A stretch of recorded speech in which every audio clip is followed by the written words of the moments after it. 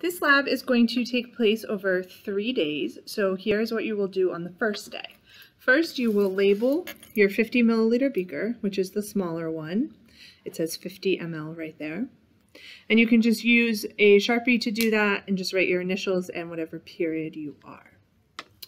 Next thing you'll do is measure out 40 milliliters of silver nitrate. Silver nitrate is not on your tray, okay? You're gonna have to share this bottle because it needs to be kept in a light block bottle. So everyone is gonna need to share that. So you can get your graduated cylinder out and measure 40 milliliters.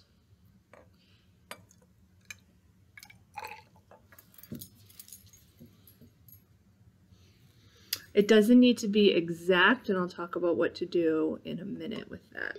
Okay. So I, this one is a little bit more than 40. I am going to say it is 41, 2, 3.2, 43.2. So on your paper, it says to write the exact volume here. Please write the exact volume. Make sure that you're estimating a digit. So here, I'm going to write 43.2 down on my paper. Then I'm going to take my copper wire and I'm going to mass it. So these are the balances we'll be using. You can just put it here. Make sure you tare it, meaning make sure it's at zero. Okay.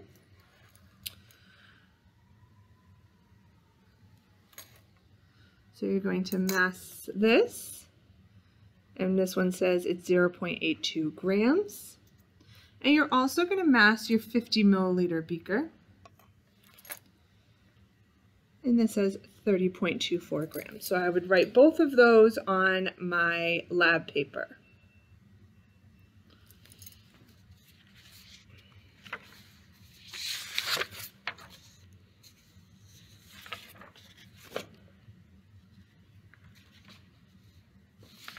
Okay, next thing you're going to do is coil the wire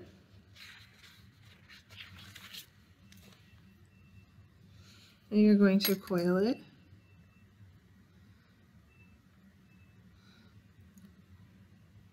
like so and put it in your 50 milliliter beaker and it doesn't need to be on the balance for this. And then you're going to pour your 40 milliliters of silver nitrate right in there.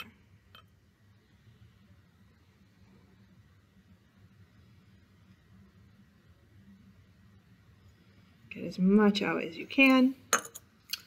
And that's going to be all we do for day one. Rinse out your graduated cylinder, put it on a drying rack, leave your little beaker on your tray, and put the trays back where um, I tell you to do so.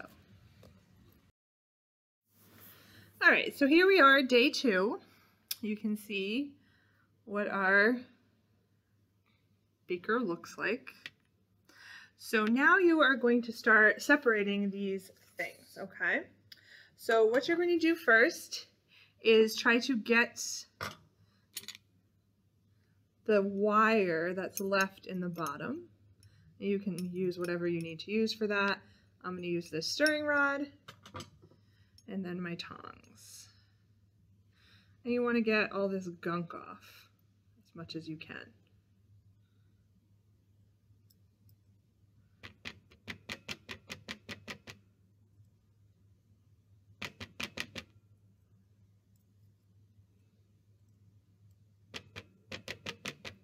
And then for the little bits that you can see are not coming off, that is what the squirt bottle is for. So when you do the squirt bottle, make sure you're getting it in the beaker where you already have the crystals.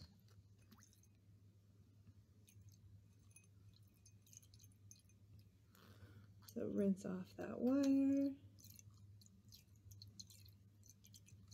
and get all the little bits into the beaker. Okay, now I just have the copper wire. Oh, a little bit here. So dip the leftover copper water in acetone to have, help it dry. So what I'm going to do is take another beaker, doesn't matter what size, and my acetone.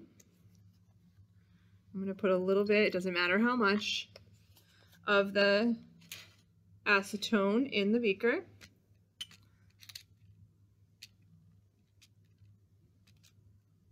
And then leave the wire in there just for a couple seconds.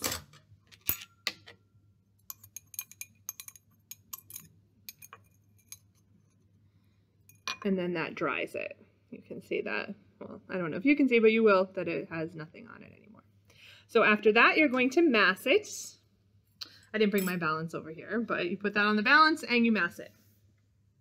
So that's it for the dried, for the wire. And then you can put that, it says cart. I don't know if we're going to have a cart, but we'll have a tray up in the front of the room.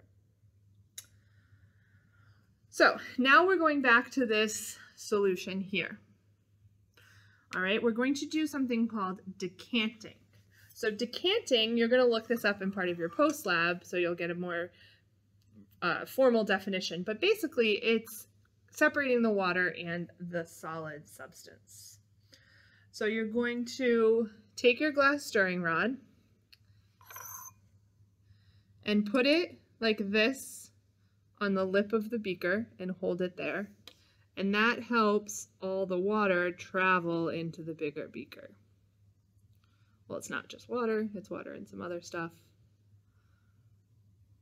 But it helps the water travel, and then it will stop as many of the particles as we can. Okay, that's what the glass stirring rod does. It helps us not get those particles in the solution.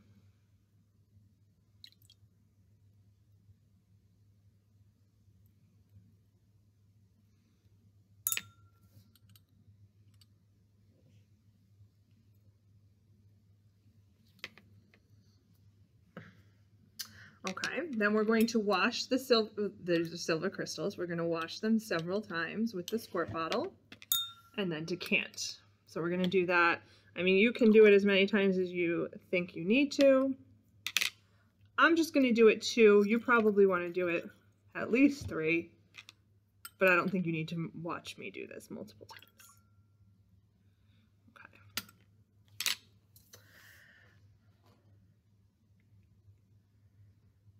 Okay, so you're going to keep doing that until you see no blue.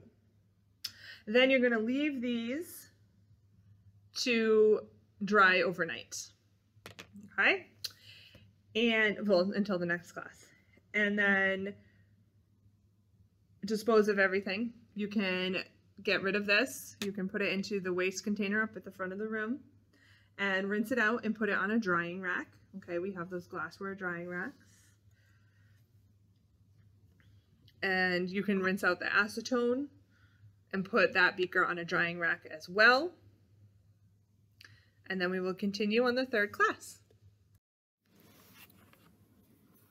So here I am, day three, and all we have to do on this day is take our balance. So you're going to turn the balance on, put it on the table, wait for it to read zero. If it doesn't read zero, hit the T button to tare it. And then we're going to take our 50 milliliter beaker with our dried crystals inside, put that right on the balance, and record what that is. At this point, you should already have your data table, so you can type it right in there. If not, um, you can also just write it on the handout. So once you have that information, we will get started on the analysis and calculations and everything together.